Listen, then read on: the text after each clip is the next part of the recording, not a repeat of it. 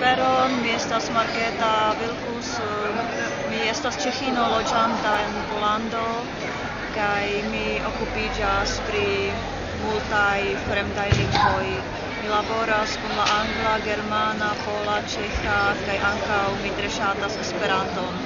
Mi ankaŭ ŝatas instrui la lingvojn kaj mi esperas ke tiu ĉi fariĝos mia estonta ŝatokupo kaj profesia vojo. Maria lernis kiam mi estis uh, infano, fakte mi estis en Bazlernejo, mi havis nur dek du jarojn. Estis uh, hazarda afero, ĉar uh, eh, mia patrino vojaĝis uh, eksterlanden kaj ŝi trovis uh, dumvoje en la buso unu esperantistan instruiston.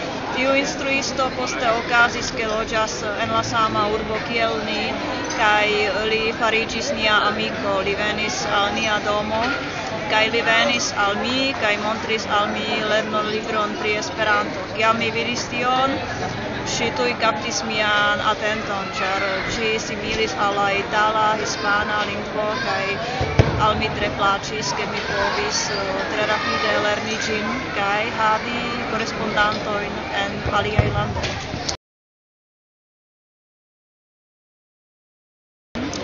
Char gi havas valoron uh, lerni aliajn lingvojn poste, ekzemple dank al tio ke mi konis Esperanton uh, plej frue, mi poste ne havis uh, malfacilecon e anglan gramatikon aŭ germanan sistemon.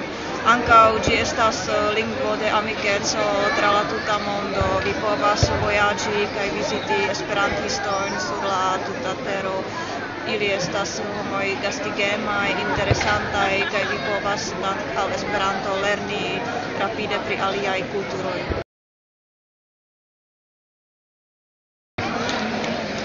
kies eh, ciu venko postulas eh, multe da tempo, Esperanto existas ancora ne tre longe. Eh, ĝi estis malkovri, ĝi estis farita fare la pola mm, juda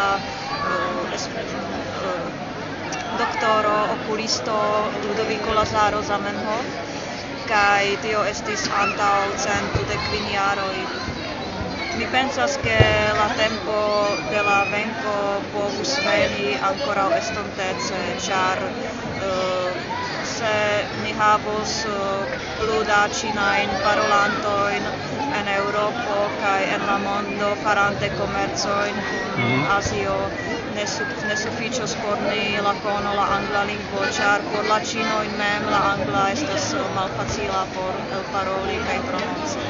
Mm,